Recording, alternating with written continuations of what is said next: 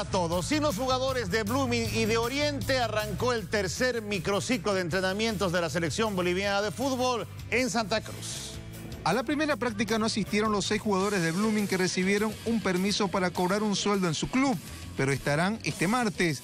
El que no se sumará es Mario Cuellar, que no fue cedido por Oriente, y Leonel Justiniano fue separado del grupo por lesión. Mañana vamos a tener un entrenamiento eh, en la idea de hacer un partido de fútbol y por la tarde probablemente estemos haciendo un partido de entrenamiento en el estadio Tahuiche Aguilera. Este martes a las 16 horas en el estadio Ramón Aguilera Costas, la Verde jugará un partido amistoso ante Torrefuerte, equipo de la Asociación Cruceña de Fútbol. Aprovechar estos días para poder demostrar la, las condiciones y poder eh, soñar con ser tomado en cuenta para más adelante.